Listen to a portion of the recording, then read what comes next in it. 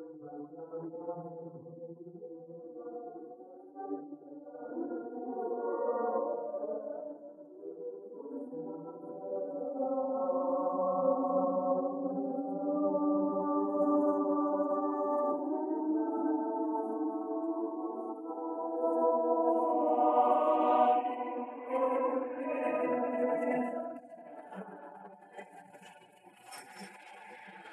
二零一一年四月的一天，安徽省六安市文物部门工作人员接到了一个电话。电话中称，在六安城东的白鹭洲发现了疑似墓葬的线索。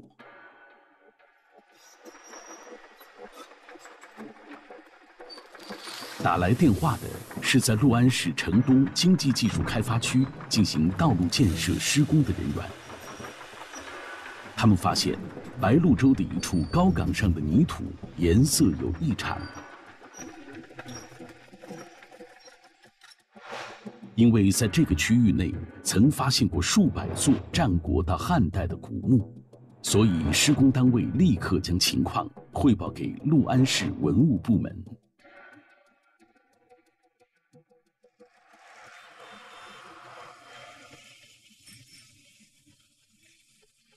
考古专家们很快赶到了现场，对这片高岗上的泥土进行分析，发现有两块区域出现了考古学界所说的“五花土”。五花土是修建墓葬时被挖出的混合了地下各层不同颜色的泥土，等墓主下葬后再回填入坑中。它往往是发现墓葬的重要线索。考古专家进一步勘定了五花土的边界，并展开了发掘工作。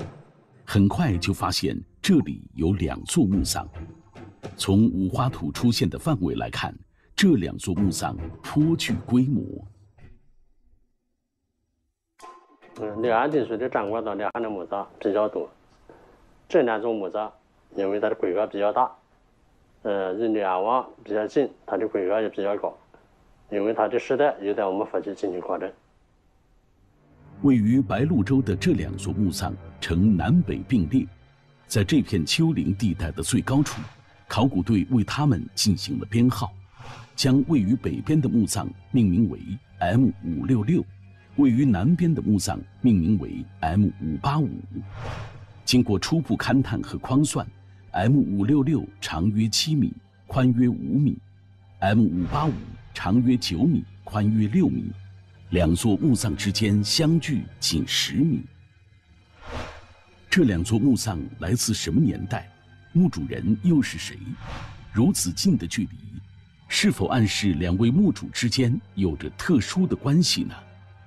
答案也许正藏在这片泥土之下。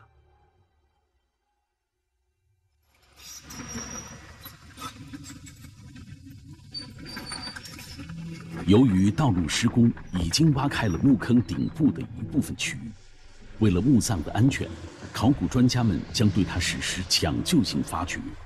这片地区的红色粘土含水量极高，一旦开挖后很容易发生垮塌。为了工作人员和文物的安全，必须要果断迅速地进行清理。经过一个月的紧张工作，工作人员在位于北部、面积较小的 M 五六六墓葬中清理填土的时候，突然触碰到了一个坚硬的平面。他们小心地扫去表面的浮土，发现这是一块巨大的棺椁盖板。当这个椁的盖板露出来的时候呢，我们还是心情还是比较激动的。因为我们看到这个椁板是整个是完好无损的，啊，没有被盗扰，而且也没有这个腐烂，呃，也就是说，这个椁板下面的这个棺椁的结构啊，还有随葬品呢，很可能都是保存比较完好的，而且呢，这个墓主的尸骨有可能也是会保存下来的。位于南边的 M 五八五墓葬，在考古队员们的努力下，也很快显露出了棺椁盖板的轮廓。它的椁板面积看上去要比 M 五六六的还要大很多。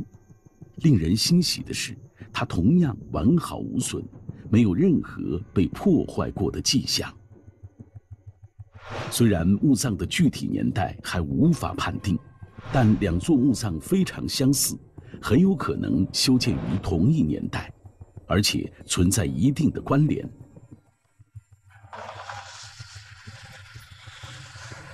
考古队经过研究之后，决定按先小后大的顺序，率先发掘体积较小的 M 五六六墓葬。为了防止已暴露在空气中的棺椁干裂变形，考古队采用了湿海绵覆盖和胶水保湿等措施，小心地呵护着这两副巨大的古式盖板。很快。M 五六六的棺椁清晰地显露了出来。这副棺椁长约三点二米，宽一点六米，体积庞大。围绕着棺椁的北、东南三侧，还有一圈长方形的木箱。这些木箱是什么？里面隐藏着怎样的秘密？这些棺椁外围的这些木格子一样的东西呢，我们叫它外藏椁。简单来说呢，它们就是专门用来放这个随葬品的。揭开这些外藏椁的盖板，考古队员们惊喜地发现，这里置放着大量的保存完好的陪葬品。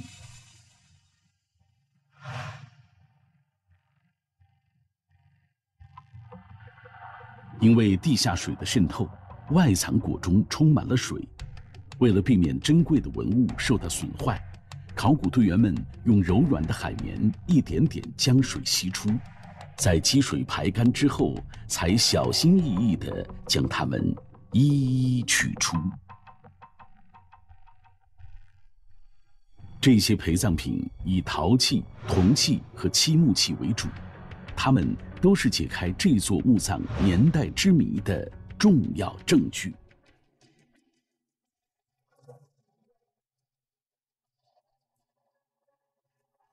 把这个外藏椁清理完毕之后呢，我们打开了这个最外面的一层棺的盖板，然后我们发现里面还有一重棺啊，这就说明了这个墓葬的等级还是比较高的啊。这个时候呢，我们就考虑，就是说要不要在现场来开这个内棺。因为发掘现场人多且杂，为了安全起见，考古队决定把棺木运到皖西博物馆院内再打开。这个拆解之后呢，我们发现这个棺总共有三重，啊，嗯，把内棺拿出来之后呢，我们发现它密封的比较好，然后呢，就用这个木凿从盖板和侧板之间给它打进去。打进去的同时呢，就发现里面有很多水流了出来。经过漫长的努力，内棺的盖板终于被揭开，而棺内却充满了浑浊的液体。经过仔细的探测，确认表面没有漂浮物之后，考古队员们开始排出棺内的水。因为这个墓葬呢，它埋藏比较深，然后地下呢是一个保水的环境啊，这个土层中的地下水呢。经年累月，就逐渐的透过这个木头的缝隙渗透到内棺里面。在棺内的水位降至二十厘米左右的时候，一层棕红色的泥沙状物质露出了水面。我们先看到的这个东西呢，其实很大可能就是墓主身上穿的衣服，还有他身体上和面部上面覆盖的这种纺织品，呃，因为时间比较长，它腐烂了之后，呃，所留下来的残留物。现在已经腐烂成了泥沙状了。在排光污水清理掉这些腐烂的纺织品残留之后，一副清晰完整的人体骨骸呈现在考古队员面前。这具尸骨呢，它是这个仰面朝上躺在内棺里面的啊。然后呢，整个的这个头骨啊、呃四肢啊，还有它的躯干都保存的非常完整。而且呢，在他的头骨的附近呢，还有一团发髻啊，这个头发是特别的乌黑发亮，然后发髻缠绕的这个形状都是清晰可见的。啊，这个发髻里面还插着一一个骨质的发簪。在这具人骨间散落着十多件形态各异的玉器，抹去表面的淤泥，上面雕刻的精美花纹隐约可见。从他们摆放的位置，可以依稀看出墓主下葬时身上的华贵装饰。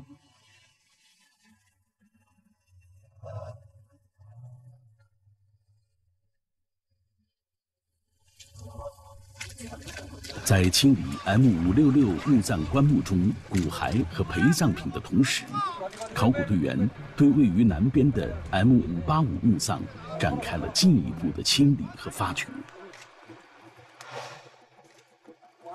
考古队员们发现，M 五八五的外藏椁分布在东西南北四面，环绕着椁室放置着大量的陪葬品。除此之外，两座墓葬结构几乎相同，M 五八五的整体规模和棺椁体积都要比 M 五六六更大。为此，考古队不得不动用了一辆中型吊车，才将它的棺椁从墓穴中吊出运走。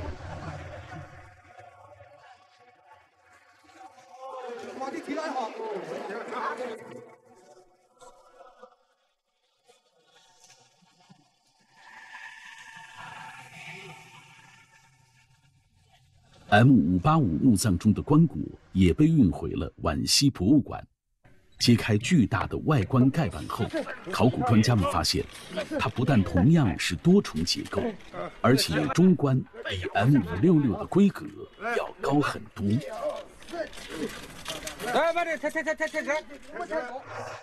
！M 五八五的中观盖板非常厚重，南北侧板外侧均呈弧形突出，四角。分布着四个铜环，这些铜环牢牢地嵌入了棺盖的侧面，但棺盖是用整块木头做成，并无拼接。它们是怎样固定的呢？经过我们的观察和分析呢，它这个铜环应该是工匠先在这个呃棺盖上面斜着钻一个圆孔，然后呢把这个烧熔的这个铅液倒进去。倒进去之后，马上就把这个铜环插到里面去，这样这个铅液凝固之后，就牢牢的把这个铜环固定在这个孔里面了。啊，这种工艺呢是，呃比较少见的。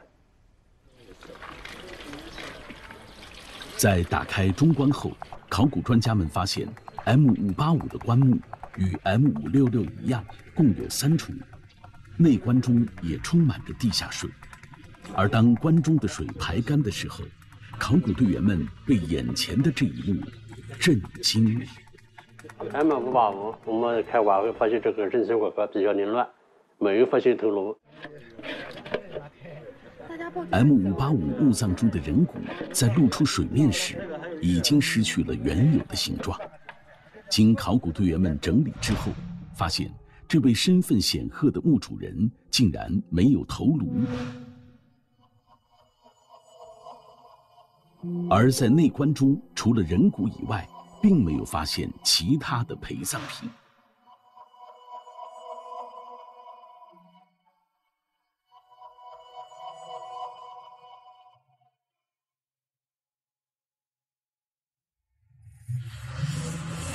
在清理完 M 五八五的内棺之后，这两座并列的墓葬已经完全清晰地呈现在世人面前。M 五六六墓口长七米，宽四点二米。M 五八五墓口长八点六米，宽六点二米。它们的墓室均分为外藏室、椁室和棺室三部分，并且都是一椁三棺。他们到底来自哪个年代呢？这两位墓主之间又有何关联？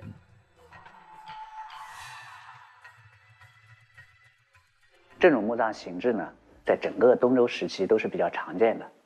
那这两座墓葬的具体的年代以及它们之间的关系，我们还是要根据这个随葬品的特征以及它们的组合来进行判断。因为没有遭到过盗掘，两座墓葬的陪葬品都非常完整，结构与排列也非常清晰。两座墓葬中都有大量的铜器、陶器、漆木器与玉器，它们都是判定墓葬年代的重要依据。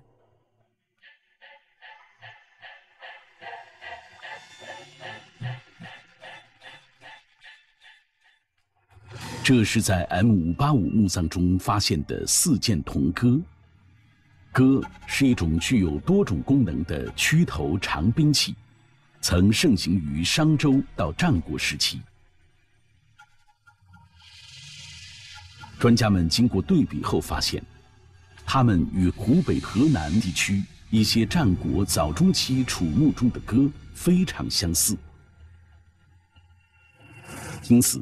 白鹭洲的这两座墓葬很有可能是战国时代的楚墓。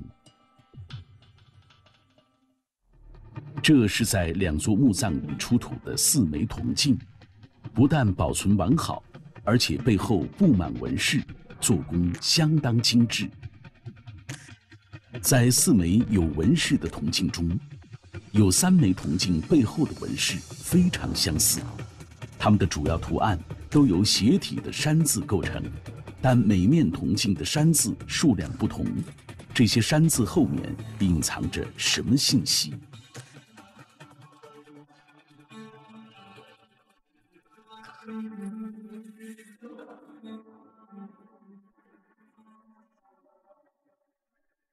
沙子镜在六安地区出土的比较多，以三山、四山、五山、六山。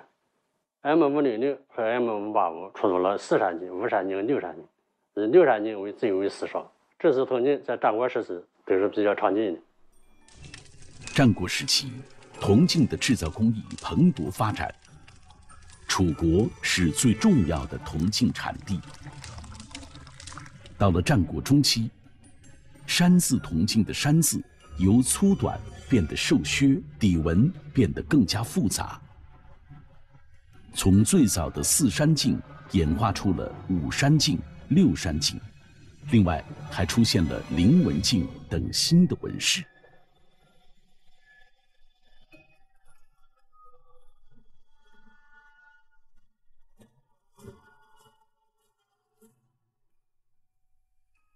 这件铜镜呢，我们叫它菱纹镜，它的背面呢是由四组菱形纹组成的，它的地纹呢是羽状纹。这种铜镜的年代呢，一般是在战国中晚期。铜镜的制造年代让考古专家们初步推测，这两座墓葬的年代约为战国时期，但他们仍需要更多的证据。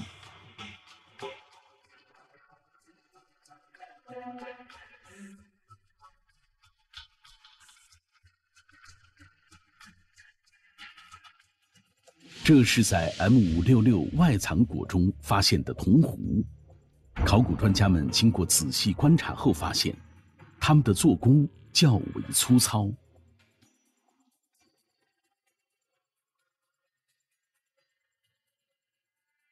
我们看出土的这两件铜壶，它们的整个铸造就不是很精良了，尤其是这个铺首衔环上面的纹饰还是比较模糊的。我们看那个。盖子，盖子里面我们发现有这个内范，就是说他在下葬的时候，这个内范他都没有把它掏走，因此呢，我们认为这两件铜壶很有可能就是专门为了随葬而铸造的。内范是指浇筑金属器物时用泥做成的内部模具，先民们制作铜器时，先制作出器物的模型。然后用泥土覆盖在模型的外部，形成外范，再制作和模的内部一样大的内范。内外范套合后，将融化的铜液注入空隙内，待铜液冷却后，除去内外范，便得到了预铸的青铜器物。铜壶内的泥质内范，说明。这两件铜壶是专门为陪葬所制造的。它们的年代应该与墓葬年代相当。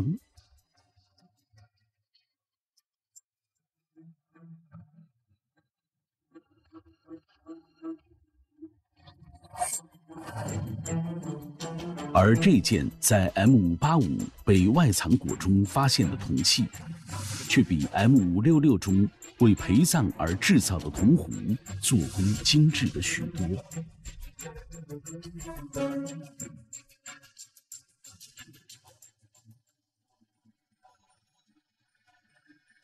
这件铜器呈冠状，短颈、骨腹、平底三足，肩部有一对内穿铜环的半环形耳，顶盖鼓起，边缘斜收，盖顶上有三个钮。从顶盖到全身都布满了纹饰，做工极为考究。这件物品是做什么用的呢？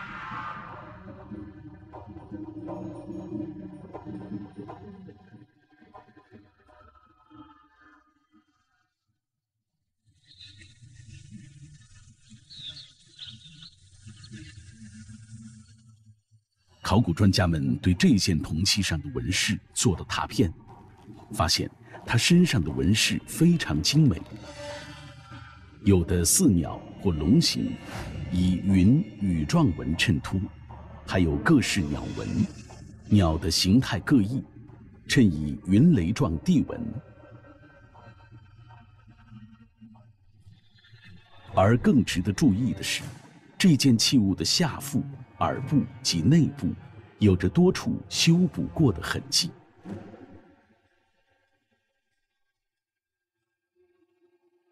这件玉否呢，它是属于冠喜器，在整个这个春秋晚期到战国早期都是比较常见的啊。那么这一件呢，我们通过观察，我们还发现它的呃腹部内壁和外壁都有很多修补的痕迹，还有使用的痕迹，包括一些磨损的地方。啊，我们可以推测呢，这件玉否是墓主人生前长期使用过的，也就是说，它的铸造的年代是早于这个下葬的时间的。根据这些铜器的特征，考古专家们更加相信，这两座墓葬极有可能属于战国时期。但是，铜器可以供人使用的年限很长，铜镜和玉否。都是可能会传世的物品，因此，它们反映的年代只能说明这两座墓葬年代的上限。这两座墓葬的年代不早于战国中期。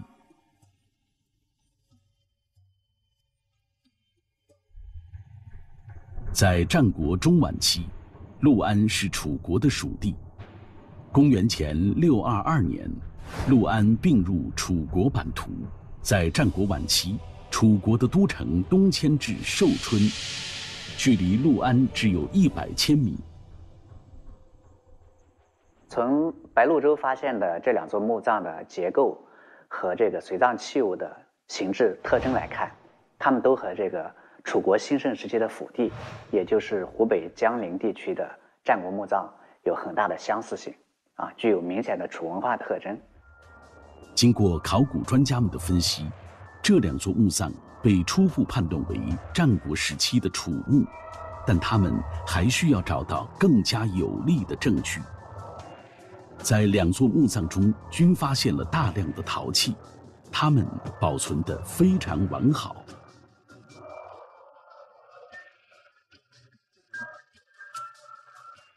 在西周时期呢，这个统治阶级呢，它形成了一整套的。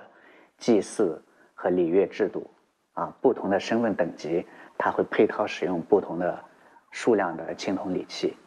那春秋以来呢，我们比较多见的就是用这种仿铜的陶礼器来替代真正的青铜礼器。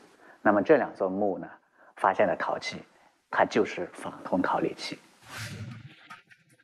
仿铜陶礼器正是墓主身份等级的象征。这为专家们判定年代和墓主身份提供了重要的帮助。这个仿铜陶礼器呢，它们的形制以及组合形式，是我们判定墓葬年代的一个重要的依据。加上近年来呢，我们在安徽省内，尤其是在六安市周围，我们发现了很多的这个战国时期的墓葬，所以呢，我们就开始着手来进行一个横向的对比，啊，来。呃，判定这两座墓葬的具体年代。在这两座墓葬中陪葬的陶礼器质地都比较硬，材质相仿，可分为五大类：列鼎、盛酒器、滋盛器、灌洗器和吹煮器。值得注意的是，它们都是成对出现的。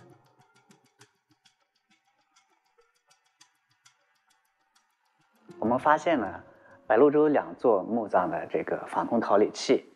呃，它的主要的这个器类的数量呢，都是双数，也就是说，它是以成对形式出现的一种组合，而这种组合形式呢，也正是楚国有别于中原地区自己所独有的一套这个呃丧葬礼仪制度。在楚国的丧葬礼仪制度中，礼器除了是成对出现之外，还存在着几种特有的组合。考古学界一般认为，楚墓中常见的礼器组合有三类。第一类是孤口鼎、釜、否的组合；第二类是子母口鼎、对、圆壶的组合；第三类是升鼎、方壶簋等的组合。在白鹭洲的两座墓葬中发现的陪葬品中，这三类组合基本都有。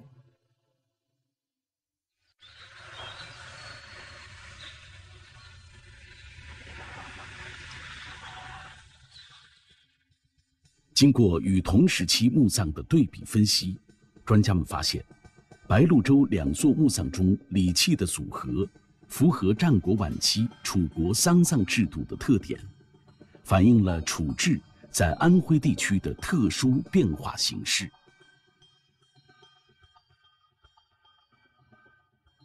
它和这个战国晚期晚段是能够对应起来的，所以呢，我们就知道这两座。战国墓葬的具体的年代应该是在，嗯，楚国迁都寿春城的前后。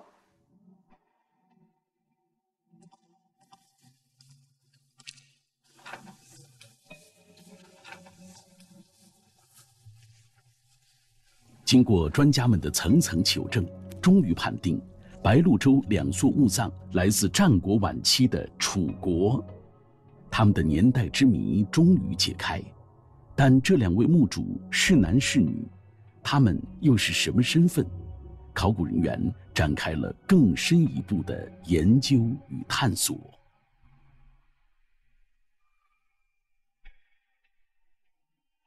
判定古代人骨的这个性别，首要的参考对象就是骨盆。一般来讲，男性的骨盆呢表现出厚重，呃，在颅骨、锁骨、呃四肢骨上，男性表现得更加的粗壮、硕大。M 五八五的墓主的骨骼，除了颅骨缺失外，其他部位都基本完整。他的骨盆粗壮，坐骨大切迹窄而深，耻骨下角较小，肢骨、锁骨均较为粗壮，符合男性特征。而 M 五六六的墓主骨盆骨面细腻，坐骨大切迹宽而浅。耻骨下角较大，耳前沟明显，颅骨整体较小，肢骨、锁骨均较为纤细，有典型的女性特征。从这两具人骨遗骸的体质特征上判断，M 五八五墓主应该是一位成年男性，他的死亡年龄在三十五到三十九岁之间；M 五六六是一位成年女性。死亡年龄在三十五岁左右。这两位墓主一男一女，死亡时的年纪相仿，墓葬规模相近，形制相似，又相隔如此之近，他们到底是什么身份？他们之间又存在着什么样的关联？考古专家们苦苦寻找着问题的答案。在白鹭洲的两座墓葬中。都出现了仿铜陶鼎。陶鼎在西周时期是区别贵族等级的重要标志，这也延伸到丧仪中。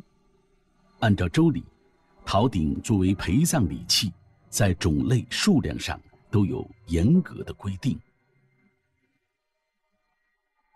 周礼是这样规定的：呃，天子九鼎，诸侯七鼎，然后大夫五鼎，士三鼎。而专家们却发现，在白鹭洲的两座墓葬中，竟各有十个陶鼎，无法和周礼中规定的数量对应，这又是为什么呢？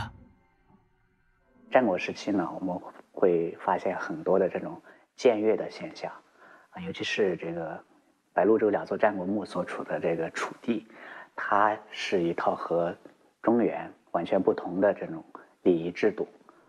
原来楚国的礼器都是成对出现的，因此十个鼎可以被分为五对，对应着周礼中大夫五鼎的规定。就这两座战国墓的这个陶鼎的数量呢，我们可以看到，就是它对应的应该是大夫的级别。白鹭洲的两座墓葬中，虽然陪葬品众多。墓主的棺椁和尸骨也很完整，但却没有发现任何文字性的记录，这对专家们判定墓主的身份带来了一定的困难。考古专家们只能将它们与年代和规模相近的墓葬进行对比，去寻找答案。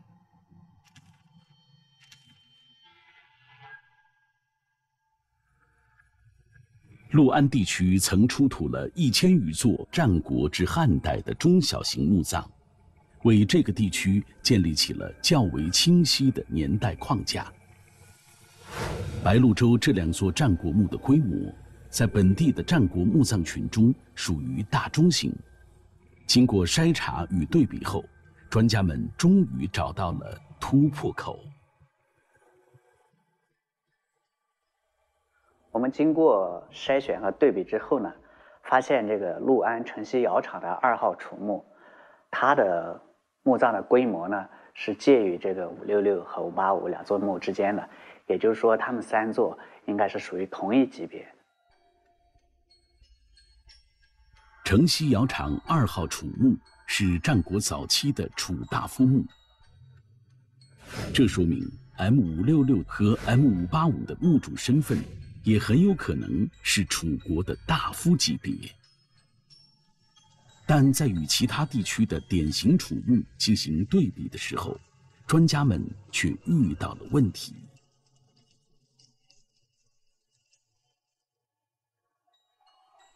楚国的大夫级别的墓葬中有代表性的，还有这个湖北荆门的左种楚墓，嗯，M 一，这个 M 一呢？它的棺椁的重数和白鹭洲两座战国墓是一样的，都是一椁三棺。但是呢，这个 M 一的墓葬的规模却是远远大于这两座墓葬的。这个发现又动摇了考古专家们原本的判断，他们随即进行了更加细致的研究，发现相比棺椁使用的名贵楠木，外藏椁使用的木料较差。铸造的工作量较小。我们推测呢，当时是处于战国晚期，时局动荡。那么这两位啊，在当时身份比较高贵的墓主，在下葬的时候，可能也是迫于形势啊，啊，他缩减了墓坑的尺寸，来减少工程量。但是呢，他们仍然坚持着和他们的身份等级相当的这个棺椁的重塑。因此，专家们判断。白鹭洲墓葬反映出的等级应当低于墓主的实际身份，他们的实际等级应该与湖北荆门的左种 M 一相当。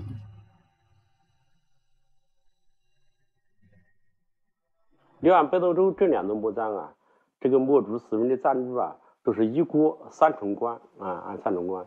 按照这个相关文献的记载，这个墓葬这个暂住这个制度一般是天子是七重冠国，诸侯是五重冠国，而这个大夫呢是三重冠国，四这个级别的是两重棺椁。白鹭洲这个墓葬国加上棺，基本上能达到四重冠国。一般我们三重冠国呢定位这个墓主的使用这个暂住的传送，那就是说我们白鹭洲这两座墓葬啊，这个墓主的身份应该跟大夫这一级的相对应。白鹭洲的两座墓葬南北并列，相距仅十米。这两座墓的主人之间是否存在着特殊的关系呢？他们朝向一致，规模相当，棺椁形制相同，随葬器物组合及年代接近。两位墓主一男一女，死亡时的年龄也十分相近。根据种种迹象，专家们终于推测出了这两位墓主的关系。这两个墓主的关系呢，很有可能是夫妻，也就是说，这两座墓是同影异穴的夫妻合葬墓。那他们的身份呢，应当是楚国的大夫级，或者说是不低于下大夫级。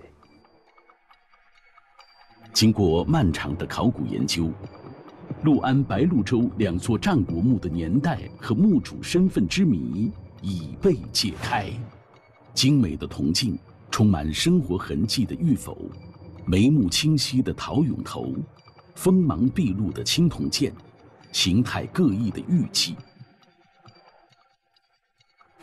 在墓中出土的一件件珍贵文物背后。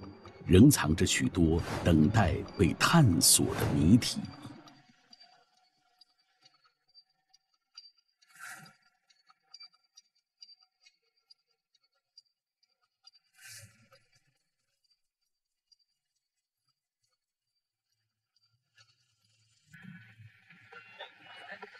从棺椁的完整性和发掘现场的痕迹来看，这两座墓葬并没有被盗掘过。保存得非常完好，这为研究战国晚期江淮地区的风俗、葬俗与生活习惯提供了宝贵的资料。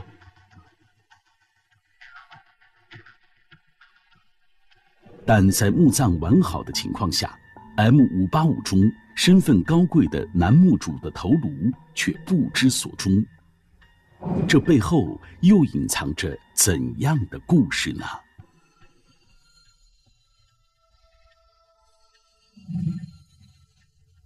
在清理位于北边的 M 五六六墓葬的陪葬品时，考古队员在外藏椁中的铜鼎和陶鼎里，发现了动物骨骼的碎块。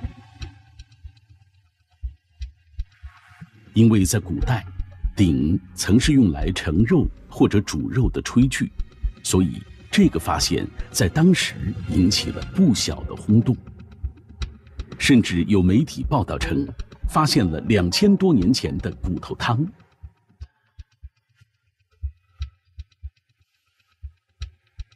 考古专家们取样研究后发现，这些碎块都是牛骨和猪骨，它们难道真的是古人在墓中炖的骨头汤吗？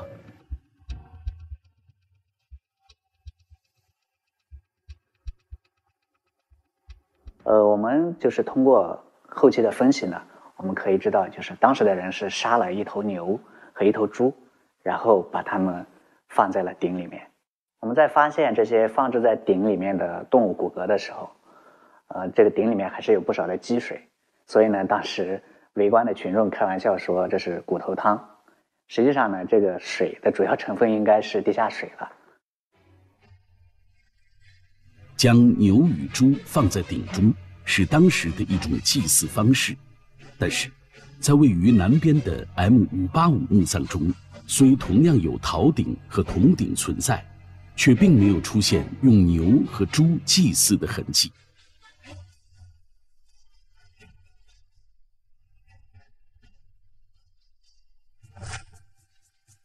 在这座埋葬着男性墓主的墓葬中，有着几件不同于 M 五六六墓葬的特殊陪葬品。引起了考古专家们的注意。在 M 五八五的内棺上，覆盖着一层纺织品，它的出现让考古专家们十分惊喜。经过清洗、加固、拼接、缝补等多道工序的修复，这一幅来自战国时代的珍贵丝织品终于重见天日。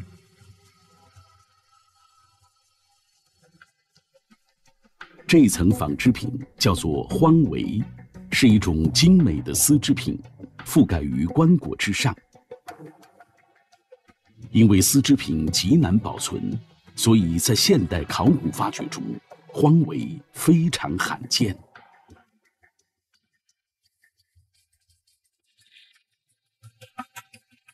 这幅荒尾长一点八五米，宽零点六二米，使用了二重金井工艺，上层为棕褐色，布满了精致的菱形花纹。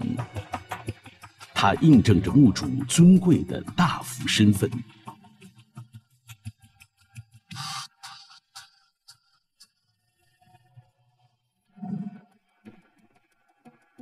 在 M 五八五墓葬的东外藏椁北部，放置着一套表面修漆的披甲。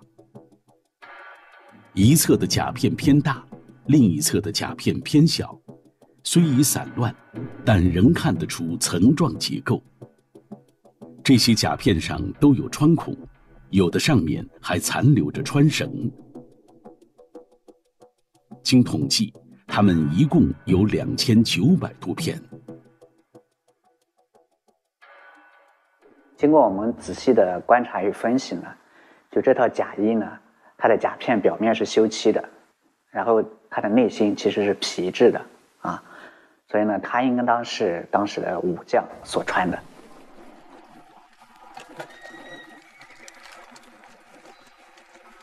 战国时期，将士们的披甲多用这样的牛皮甲片编组而成，经过修漆和油浸的甲片。不但可以抵御刀剑，而且轻便灵活，利于作战。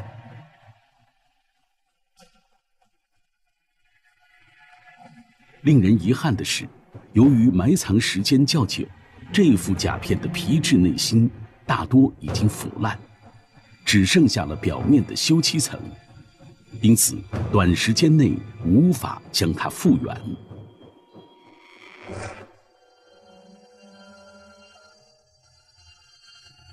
在 M 五八五的陪葬品中，还有着相当数量的兵器。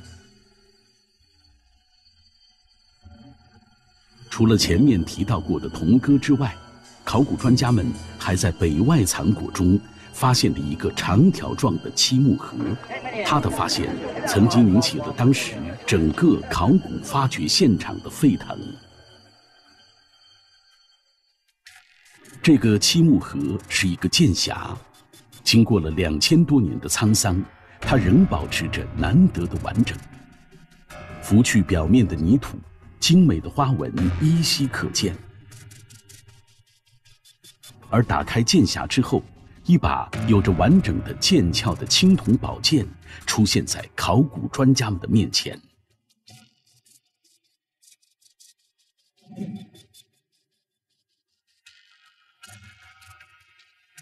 它长约六十一厘米，最宽处约五厘米。剑格上镶嵌着绿松石，剑柄上缠绕着马线，做工相当精美。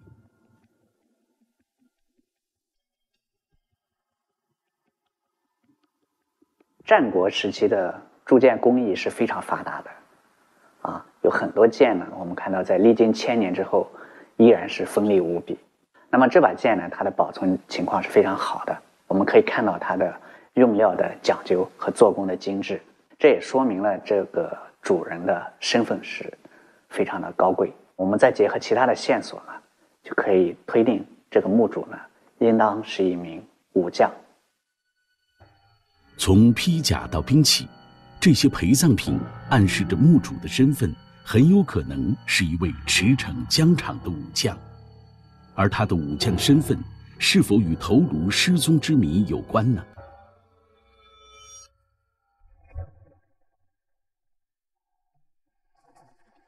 在郑州大学的人骨考古实验室，专家们对墓主的骨骼进行了全面的检测和分析，希望从中找到线索。研究人员对 M 五八五墓主的颈椎进行了仔细的核对与拼接，并用显微镜进行了观测与精准的测量。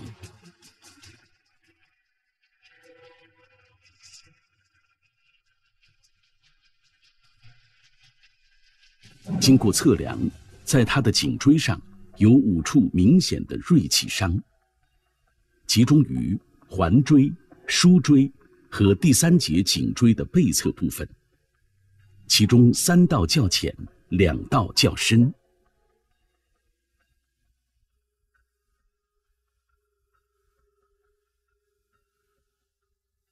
根据残留在骨骼上的砍痕，我们分析，第一道砍痕和第二道砍痕造成的是这个个体的颈长肌和韧带的一个撕裂，第三道砍痕是由上至下的这样的一个走向，导致的是这个脊髓被切断，因此导致这个个体呢生命体征宣告死亡。在这个个体死亡以后，还有两处较深的砍痕。其中一处砍痕直接切掉了齿突，导致这个个体的头和身体分离，达到了斩首的目的。两道导致身首分离的砍痕，让专家们得出了 M 五八五墓主是被斩首的结论。这个研究结果解开了他头颅失踪之谜的部分真相，却又带来了一个新的问题：他是被什么人斩首的？是自己的君主，还是敌军呢？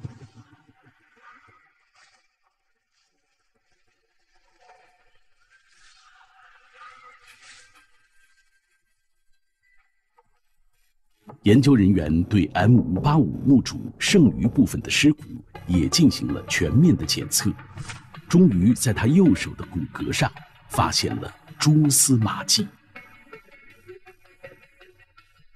研究人员发现，除了颈椎上的五处砍痕之外，在 M 五八五墓主右手第二掌骨上，还有一道骨折的痕迹，横向长度为五点零九三毫米，宽为一点零零四毫米。这道痕迹的受力方向自远而近，像是被锋利的兵器横削导致。从这个手掌的砍痕上来分析。应该是在近身格斗的过程中导致的，因为在作战的时候手持兵器，手背哎暴露在外侧，更容易受伤。而受刑人在被斩首的时候，他的手是捆着的，不会导致这样的砍痕。骨骼伤口的愈合一般发生在骨折的十二小时之内，而这道手掌的骨折痕迹，伤口边缘锐利，不见愈合迹象。因此，研究人员推测，墓主在手掌受伤后十二小时内就被斩首致死。根据对墓主的骨折情况的分析与推测，我们认为他应该是一位楚国的高级将领。那么他在作战的时候，可能是因为受伤，继而被俘，然后呢是被斩首。战国时代的频繁征战，推动了兵器种类和制作技术的发展。常见的手持兵器有刀、剑、矛、钺等。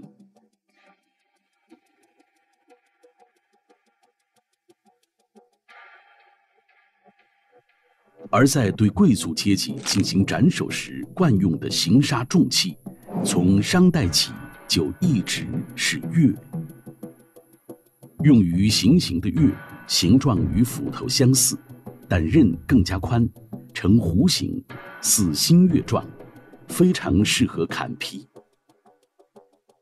我们用纸片去模拟兵刃的形态，发现，当这个纸片为直形的时候，与这个第三道砍痕是无法契合的。当把这个纸片调成弧形刃的时候，它的这个兵刃的形态与第三道砍痕是可以做到百分之百的契合，所以我们推测啊，当时的兵刃应该是钺。这个个体被斩首以后，他的首级被敌将啊拿去邀功，所以在下葬的时候就没有头，只有啊身体。楚国的一位高级将领在战场上受伤被俘，最终被敌军斩首。M 五八五墓主头颅失踪的谜团终于被解开。那与他同营一学、并肩而葬的妻子，又是因何而死去的呢？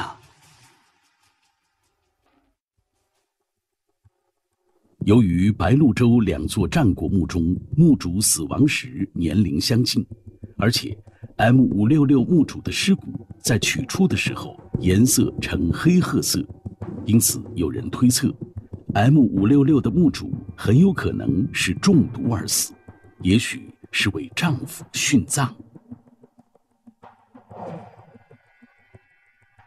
殉葬是一种始于原始社会的风俗，是指在人死亡之后，将器物、牲畜或人与死者一同葬入墓穴。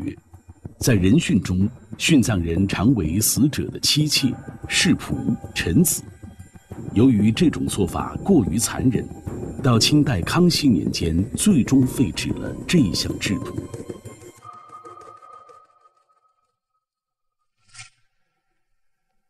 顺着殉葬这条线索，考古专家们注意到了这样一组特殊的陪葬品，在 M 五八五墓葬的南外藏椁中发现了十四只人俑，它们大小不一，脸部细节清晰可见，面貌神态各异。俑头为陶制，俑身为木质，已经腐朽，因此人俑的头身已全部分离。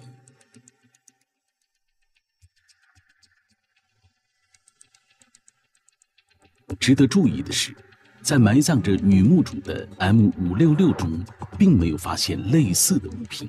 为什么它们只存在于男性墓主的墓葬中？因为 M 五八五的这位武将，他的身份是比较尊贵的，所以呢，这批人俑应该是作为他的侍从来殉葬的。啊，他们应该是有着不同的分工。啊，有的可能是他的仆人，有的可能是他的士兵。虽然他们的这个身体腐烂的比较厉害，但是从这个头部来看呢，还是有明显的大小和形状的区别。专家们发现，虽然这些人俑的形象各不相同，但他们的头顶却都有一个小洞，这些小洞又有着什么含义呢？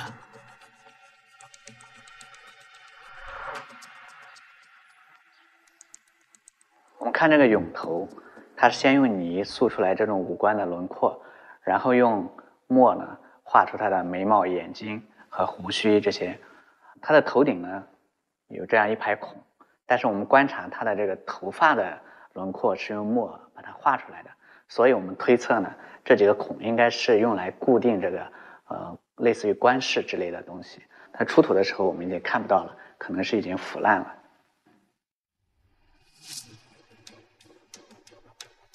这批人俑的发现，印证了战国时期殉葬制度的改变，但是，他们与 M 五六六墓主的死因并无直接联系。要判断他是殉葬还是自然死亡，考古专家们还要寻找到更多的证据。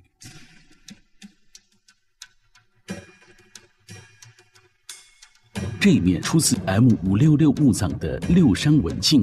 引起了考古学界的惊叹，也显示着这一座墓葬主人身份的不凡。山字文镜是出土较多的战国铜镜，也是当时楚国铜镜中的主要种类。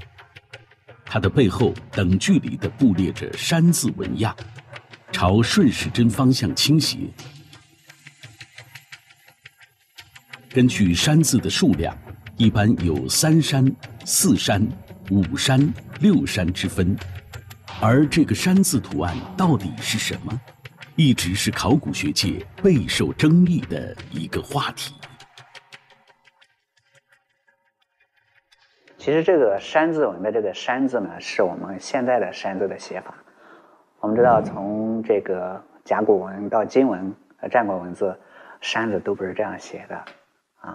呃，有人认为呢，这个山字是商周青铜器上的勾连纹和雷纹演变或者是移植过来的。M 五六六墓葬中出土的这面六山文镜，直径达二十七厘米，镜圆厚零点六厘米，是国内目前发现的六山文镜中最大的一面。它保存完好，光可见人。有着精致的羽状地纹，六个山字之间以素宽线相连，在内部形成等距的六角形，每个角内布列着一个凸棱的小圆圈。这些小圆圈呢，应该是用来镶嵌宝石的。啊，啊，从这些随葬品呢，我们可以看到，这个女性墓主呢，她的身份是很高的，甚至可以说，她是不低于这个男性墓主的。所以我们就可以这么说，这个女性呢，她呃不是给这个男性殉葬的。女墓主身份的高贵，让专家们对她死于殉葬的推测感到了怀疑。但最终的判断还是要从她的尸骨上寻找直接证据。研究人员对 M 五六六的尸骨进行了深入的化验，发现。他并没有中毒的迹象，可是开棺的时候，M 五六六墓葬中的这位贵族妇女的骨骼却呈现出黑褐色，它是因为什么原因造成的呢？六安的地下水位较高，墓葬在下葬以后，由于棺内进水，人骨和随葬品长时间的浸泡在一起，骨骼的微量元素开始降解，发生了化学反应，所以在开棺以后。遗骨呈现出黑褐色。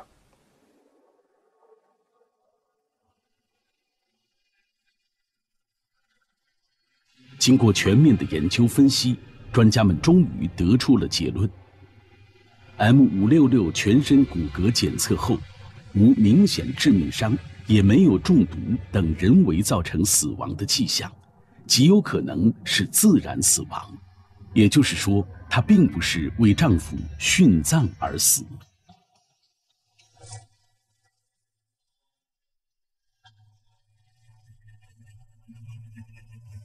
由于 M 五六六墓主尸骨保存的非常完好，甚至保留了下葬时的发髻，研究人员们决定借助现代科技手段，对这位贵族妇女生前的外貌进行复原。研究人员通过 CT 扫描 M 五六六物主的颅骨，得到了他颅面的样本数据。通过图像重构，获得了三维颅骨和人脸模型。然后，研究人员对三维的颅骨样本进行特征点标定。人种成分、营养的摄入、环境因素都会影响到皮下软组织厚度。面部不同位置的皮下软组织厚度有显著区别，所以我们只能根据现代数据库中的数值，对皮下软组织厚度进行评估。M 五六六的年龄为三十五岁左右，颅骨发育程度符合成年年轻女性范围，骨面较为光滑，因此。研究人员采取了现代女性面部软组织的平均厚度，在适当调整的基础上，运用三维技术对颅骨进行了软组织粘贴。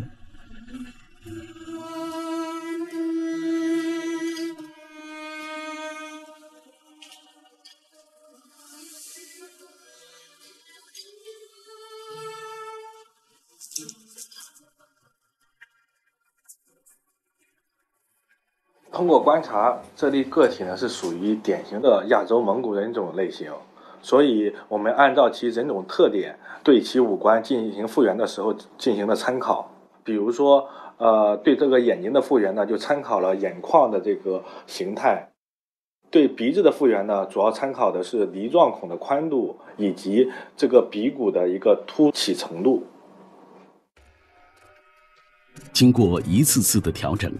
M 五六六墓主的复原人像终于清晰地呈现了出来。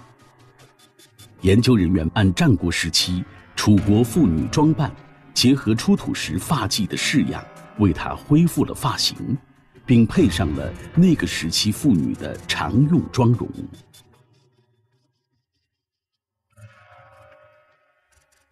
我们观察这个复原的女性墓主的样貌，我们可以看到她的这个下颌角。呃，比较宽，然后呢，这个颧骨比较高，鼻梁呢比较矮，呃，所以呢，就是呃，具有典型的这个蒙古人的相貌特征。我们甚至发现呢，他这个形象呢，跟呃男性墓主的随葬的这些人俑的面部轮廓是有相似之处的。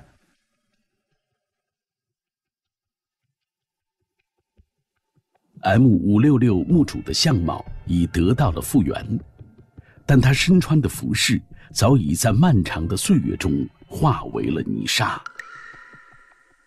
我们是否能从墓葬中留下的信息还原他当时的服饰呢？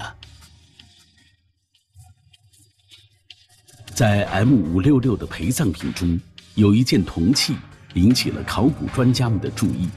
它出土自墓葬的东外残骨，是一盏人形铜灯。这座铜灯由人形灯座和灯盘两部分组成，灯座上的人像高十六点四厘米，底径七点五厘米，加上灯盘，总高度为十九厘米。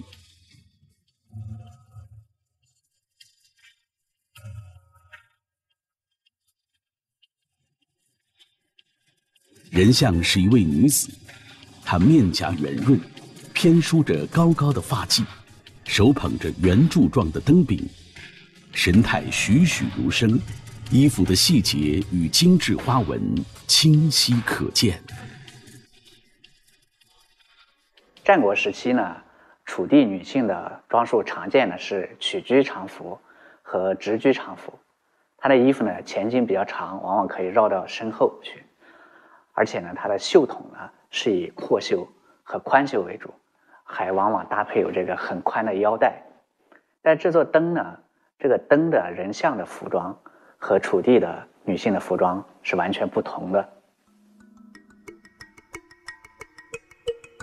经过排查与对比，专家们发现，这座铜灯人像的造型与服饰与出土于山东章丘女郎山的女俑更为相似。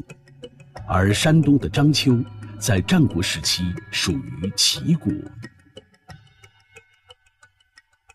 这件铜灯的，呃，服饰呢，它不是江淮一带楚地女性的服饰风格，反而是和齐地一带的，呃，女性的服饰文化特征比较相似，啊，这在已经发现的墓葬中是比较少见的。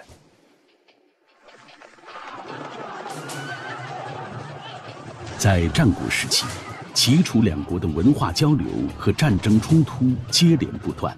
这件器物可能是从齐地直接流入，也有可能是模仿齐文化的一件器物。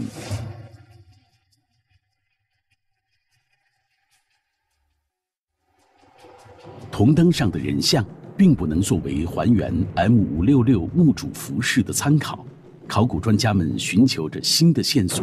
将目光落于散落在尸骨间的玉器上。M 五六六墓葬中的尸骨保存得非常完好，基本保持着下葬时的形态，因此，考古专家们在取出这些玉器前，仔细地记录下了每件玉器的原始摆放位置。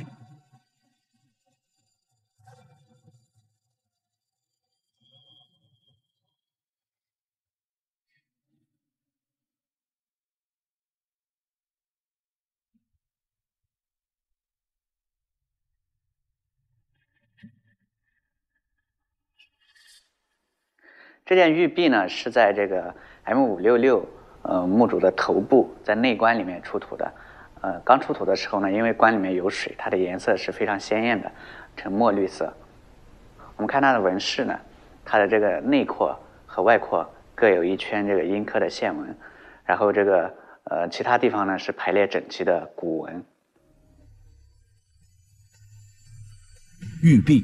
是一种中央有穿孔的扁平状圆形玉器，是我国传统的玉礼器之一。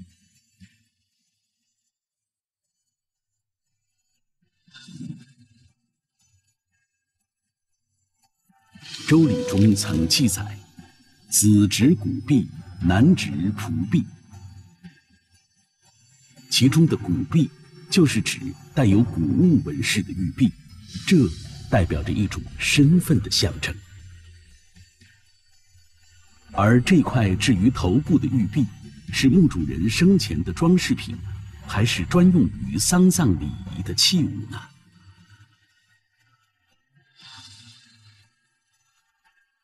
这个玉璧呢，它可以用作礼器，也可以用作葬器。用作葬器呢，主要是用来辟邪和敛尸。当然呢，也可以用来佩戴。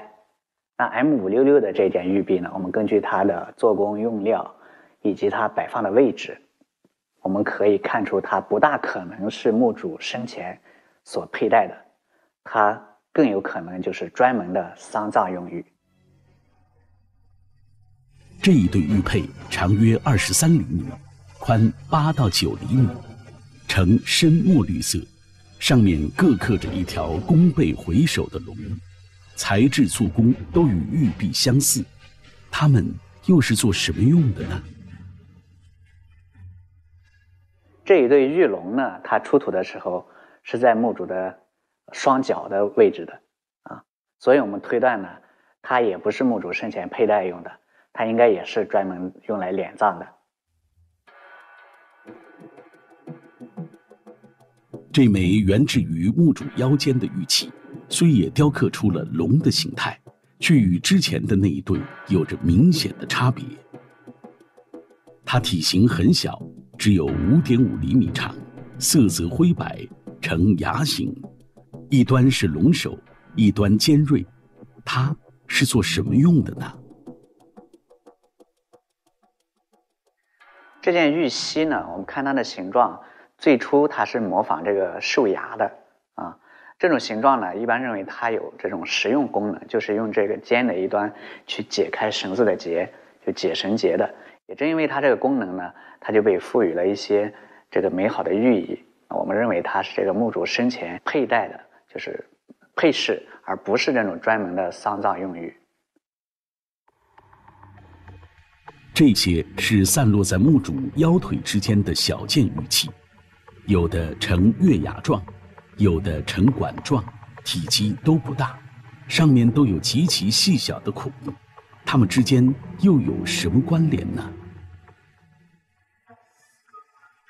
这些玉衡、玉环还有玉管，它们的出土位置都集中在墓主的腰间，啊，有的这个孔内还残留有穿线，啊，它们都是这个构成装饰佩玉的部件，所谓的组玉佩。也是那个时候常见的配饰。这是在墓主尸骨的头部附近发现的玉簪和玉花。据专家们推测，它们都是用玉装点墓主发髻的装饰品。在玉溪的附近有一枚特别的玉饰，只有蚕豆大小，状似铃铛，顶部有小孔。它的底部刻着一个字符，经过与甲骨文等古代文字的对比研究，专家们发现这是一个“言”字。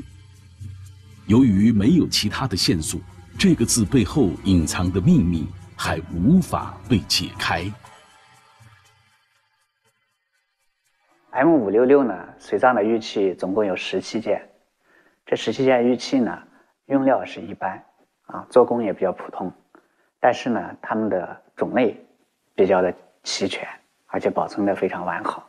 这些玉器的出土时候的位置呢，基本上保持了他们下葬时候所放置的或者是装饰的原始位置。根据散落在棺木中的线索，考古专家们终于完成了墓主下葬时形象的还原。这位身份高贵的夫人去世时大约三十五岁，她头枕玉璧，高高的发髻上装点着玉簪和玉花，玉溪和串状的佩玉垂于腰间，脚下踏着两条气宇轩昂的玉龙。这样的装扮透着华贵与庄严，也表达着楚国贵族在死后。希望成龙飞升到极乐世界的美好愿望。这两种墓葬的年代呢是战国末期，对于我们能够完整了解楚国晚期这个核心地区这个高等级贵族墓，它这个木桩这个制度啊，随葬品的基本的这个组合，包括当时这个社会的这个生产生活情况等等，提供了很好的这个点数材料。至此，我们可以得出结论：六安白鹭洲的战国双墓埋葬着一对楚国大夫阶层的夫妻。两座墓葬同营一穴，尸骨与陪葬品在沧海桑田中保持着难得的完整。墓葬中出土的大量珍贵文物，让我们看到了战国中晚期人类的璀璨文明。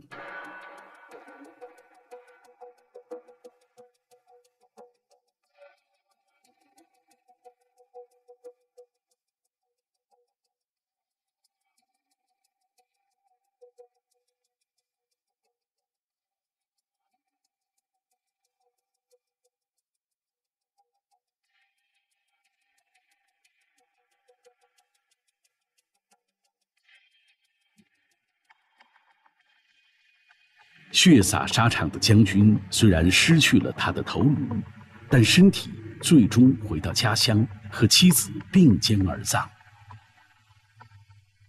一件件文物记录着两千多年前人们生活的点滴，遥望着那段金戈铁马岁月的波澜壮阔。